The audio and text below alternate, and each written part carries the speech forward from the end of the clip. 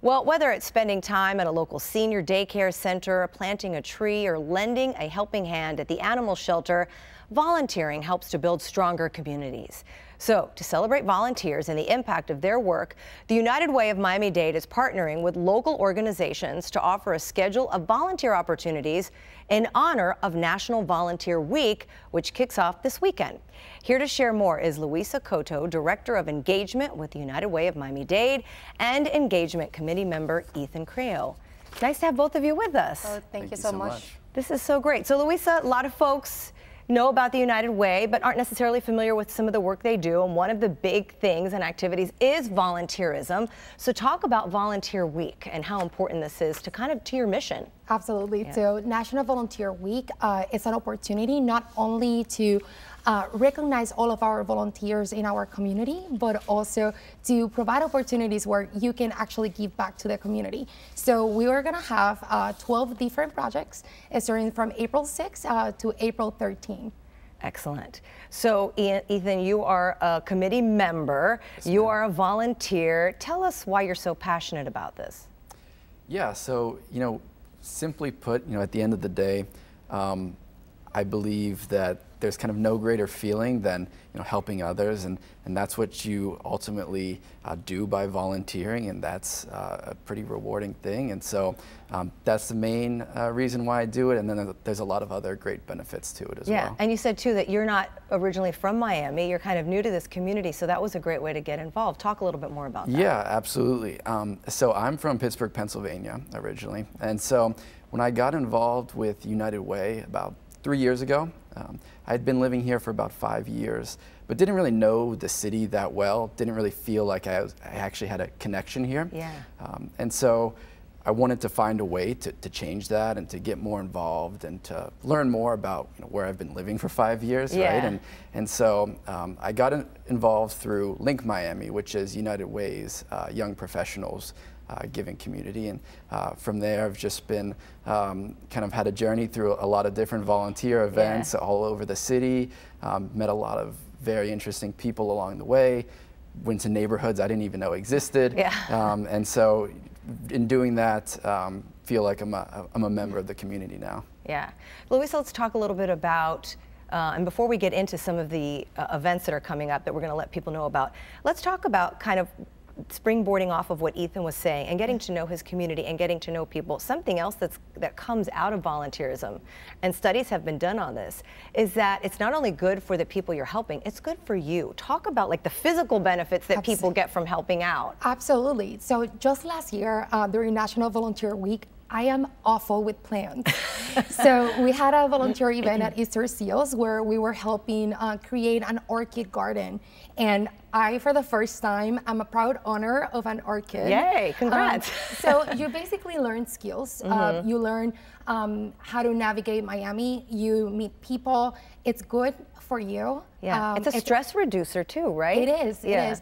And it's really good for individuals and also companies to get involved in our community that way. Right. So let's go ahead and show uh, some of the, a list of some of the events that are coming up. I know one of the first ones is a senior center, and I think we're going to pull up some of those on our screen. So people can go online and get a list of some of the things that are coming up day by day. So talk about some of them for us. So Senior Day of Excellence uh, with Mina Melody. Mina Melody was one of uh, a, a winner of one of our grants for Inspire 305. And what the great thing that they do is that they provide musical um, uh, interactions with older adults with dementia. Oh, so wow. that helps them um, throughout the throughout the day. So volunteers will have the opportunity not only to be part of that cute. musical, uh, uh, yes, uh, to be part of that musical uh, interaction. And is that what's going on here? They're dancing yeah. with some so, of the seniors. Yeah, yeah. we have uh, dancing, we have playing dominoes and bingo. So you will have the opportunity to interact with seniors uh, with dementia and without dementia as well. Yeah. Ethan, talk about some of the benefits you've seen, because I know you've done some things with Mission United, which is helping veterans, right? Yeah, talk, absolutely. Talk about some of those connections you've made. Sure. So yeah. um, just about a week ago, actually, um, went to a great event that was hosted by Mission United, which is United Way's holistic support system for local veterans that are you know, assimilating back into civilian life here yeah. in Miami. Uh, and so this event was uh, titled Mission United Operation Carnival. Mm-hmm. Uh, Luis and I were both there. Um, we spent a few hours just hosting this kind of fun little carnival for the, the patients at the VA hospital Oh, uh, nice. locally and just kind of playing fun little games with them and they could win prizes and whatnot. And you know, every single person that was there, both veterans and the volunteers, left with a very big smile on their face. And Wow. uh, the veterans were, were very grateful to us. Um, and so it, it was special being able to you know, give a little bit back to, to, to them who gave so much to us. Yeah. Um, and so that was a very, uh, very impactful um, event and, and kind of reminds you why you do it. Absolutely. And like you said, to let them know that somebody cares. Exactly. Right.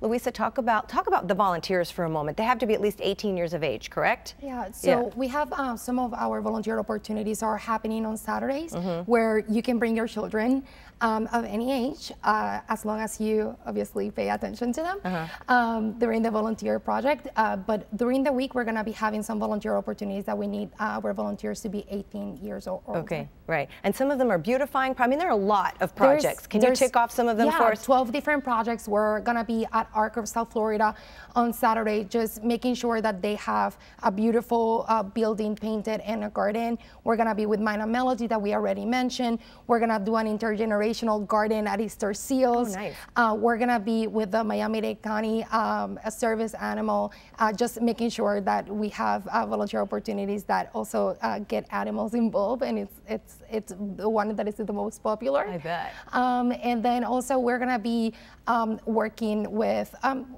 basically with the entire community. We're gonna be painting. We're gonna do mindful uh, mindfulness classes. It's gonna be it's gonna be great. Yeah, and for for the teen, well, let's see, the older teens. If the if a teen comes with an adult, can the teen also get service hours? A lot of all the high school kids have to get abs- service hours. absolutely. Okay, We that's a provide big deal. service hours. Yeah. All right. Another big thing to mention. This is April is United Way's birthday month. This is a biggie. Tell us about it. So we've been around for 95 years. It's amazing, right? It's fantastic. So we're gonna be engaging six organizations that we've been funding since 1924. Wow. Um, that include YMCA, YWCA, Children's Home Society, Jewish Community Services, and I'm gonna miss a couple of ones, but go to our website and you can find out on April 24. We're gonna be um, hosting around six different projects across all Miami-Dade County to celebrate our 95th birthday in a big way.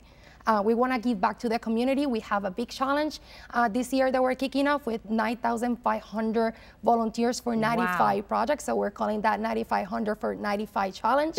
so I hope that all of you uh, are part of this challenge and and are part of all of our volunteer opportunities. Thank you so much, Luisa. Great to have you, Ethan. Thank you. Thank you. And it's Thank going to be a fun week of volunteering, right? Yes. All right, and for more information on all the events that we discussed today, visit volunteermiami.org. We'll also have more information on volunteer opportunities throughout South Florida on our Facebook page at Your South FL.